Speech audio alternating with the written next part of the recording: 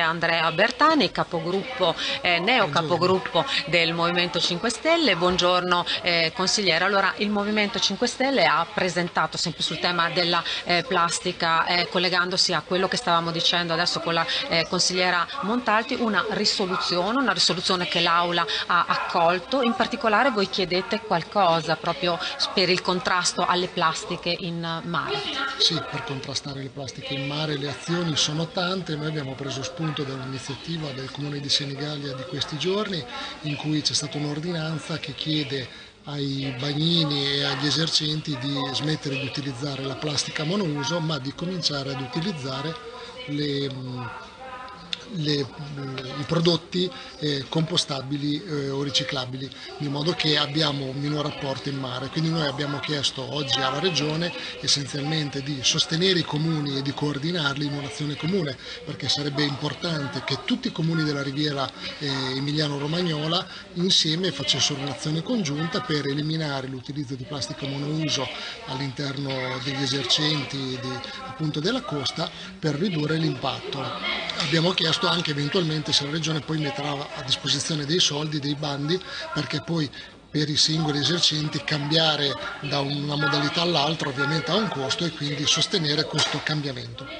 Eh, è un tema anche molto sentito dalla comunità, dalle, dalle, persone, ci sono dei comitati che si stanno formando no, sui territori, quindi in qualche modo eh, diciamo che in questo caso la politica accoglie un'esigenza molto sentita, addirittura domenica Lega Ambiente ha fatto la raccolta no, della plastica in mare e si è parlato veramente di quintali, quintali di eh, plastica. Esatto, l'altro tema è non solo eh, i piatti di plastica in spiaggia, ma l'altro tema è la l'apporto che viene tramite i fiumi. E quindi tutta la plastica inutile che viene già usata in tanti ambiti è quella che poi arriva sui fiumi ed è quella che poi andiamo a raccogliere e troviamo in spiaggia. L'altro aspetto invece è la plastica prodotta nei cicli produttivi della pesca e dell'acquacultura, anche lì bisogna intervenire sulle reti e sulle calze che vengono utilizzate per coltivare le cozze, anche quelle dovrebbero essere realizzate in materiale riciclabile e compostabile o biodegradabile, anche questa era una proposta che noi avevamo già fatto all'Assemblea.